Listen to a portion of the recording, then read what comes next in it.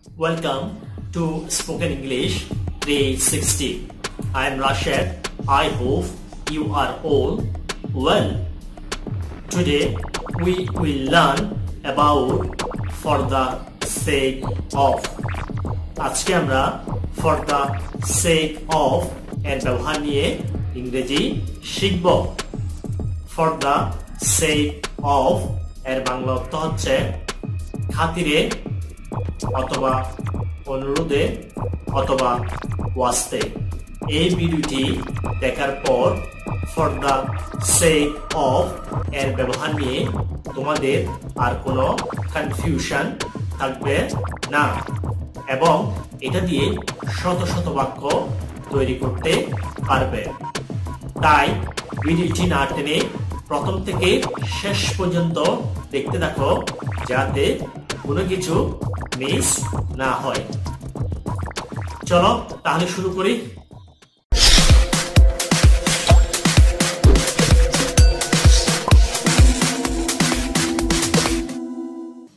এখন আমরা for the sake of এর কিছু এক্সাম্পল দেখে আসি। আল্লাহর ওয়াস্তে তাকে কাজটি করতে দিন।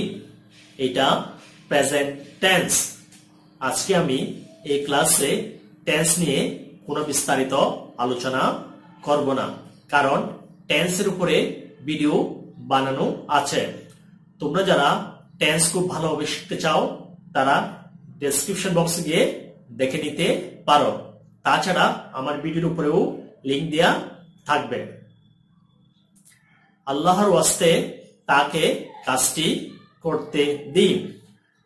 এখানে আল্লাহর ওয়াস্তে এটার ইংরেজি হচ্ছে for the sake of Allah oblique God comma, তাকে কাজটি করতে দিন এটার ইংরেজি হচ্ছে let him do the work যদি আমরা for the sake of Allah oblique God বসাই, তাহলে ক্ষমা দিতে হবে প্লাস বাকি অংশটা বসাতে হবে।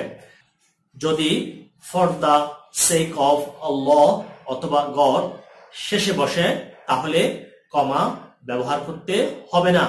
যেমন let him do the work for the sake of Allah oblique God আল্লাহর ওয়াস্তে তাকে ক্ষমা করুন।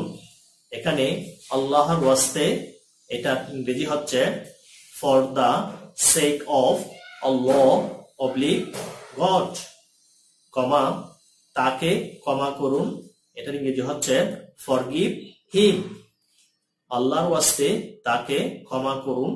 এটার ইংরেজি হচ্ছে for the sake of Allah oblique God comma forgive him আল্লাহর সন্তুষ্টির জন্য মদ পান করবেন না।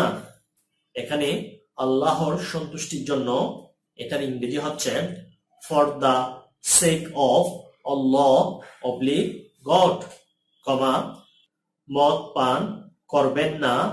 এটার ইংরেজি হচ্ছে ডন্ট ড্রিঙ্ক অ্যালকোহল আমি তাকে মানবতার খাতিরে সাহায্য করেছিলাম।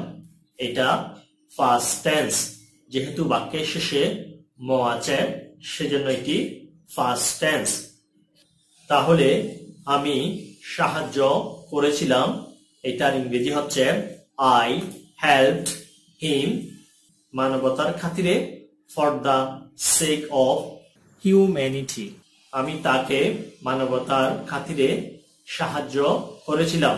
এটার ইংরেজি হচ্ছে I help him for the sake of humanity আমি আত্মীয়তার খাতিরে এখানে এসেছি।